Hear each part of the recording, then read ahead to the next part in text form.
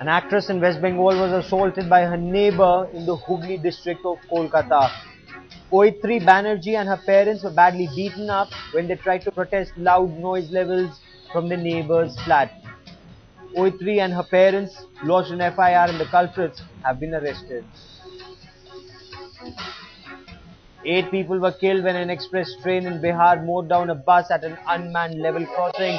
The accident occurred due to a mistake by railway authorities. An enraged mob went on the rampage, setting on fire all the coaches of the Howrah Kathgodam Bagh Express. Helpless police officers were seen watching the train go up in flames as the mob and bereaved families of victims gave vent to their anger.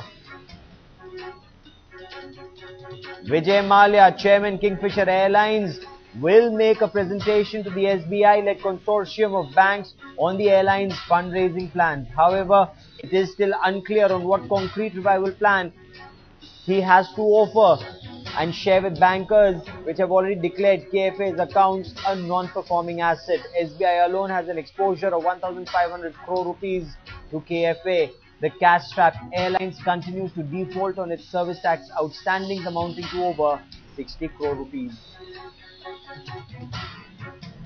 Tension prevailed on the Osmania University campus when pro-Telangana students pelted stones at the police when they were prevented from taking out a rally to the secretariat. The police responded by lobbing tear gas shells to disperse the agitated crowd who continued to hurl stones at brief intervals before fleeing inside the university.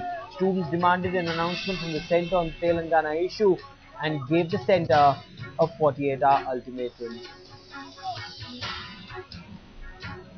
Kochi's film star Kerala Mohanlal yesterday inaugurated South India's tallest residential building in the city with a colourful show. Named as Choice Paradise, a 40-floor, 450-foot structure covering an area of 2.5 lakh square feet is said to be the tallest in the entire southern India, according to the company. Lack of space and soaring cost of land is the, the coastal city of Kochi do the company's heads to think of such a mega structure. This building has been built to withstand earthquakes of an intensity of 7.2 on the Richter scale and keeping all the security parameters in mind.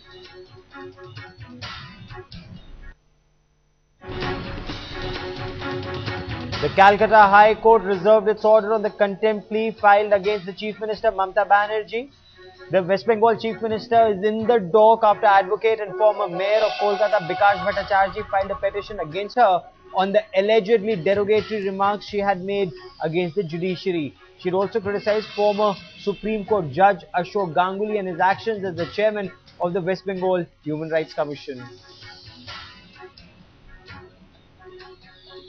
Keeping with the party whip, Gujarat Chief Minister Narendra Modi is the latest from the BJP to accuse the Congress party of misusing the CBI. Narendra Modi addressing the party's national executive accused the central government of indulging in corruption, misgovernance and using the CBI to fight elections in Gujarat. Coal India is all set to reduce its dependence on imported coal. According to the new fuel supply agreement, Coal India will meet 80% of coal requirements of power companies.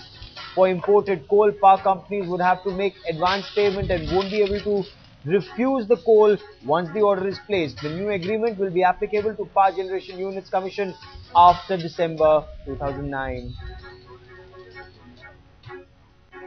After achieving India's London Dreams Olympic bronze medalist Saina Nehwal will fly in an Indian Air Force trainer jet Kiran Mark II. The special flight is being organized to felicitate her for her medal winning feat at the Olympics. The badminton ace has been invited by the Indian Air Force Academy at Dundigal and will be flying this sortie for about 25 minutes from the Air Force base. Apart from the flight, Saina Nehwal is also expected to play around a round of badminton with Air Force cadets and their families. Indian markets ended the session down by over 0.2% on Thursday. The BSE Sensex ended at 18579.5 down 52.6 points. The NSE Nifty ended at 5649.5 down 13.95 points. The FMCG index was up by 1.51%. On the other hand, oil and gas index was down by 1.6%, followed by IT index 1.1% and TCK index 0.89%. Larsen and Toubro, Tata Power and HUL were the top three gainers, while Sterlite, Hero Motocorp and ONGC were the top three losers.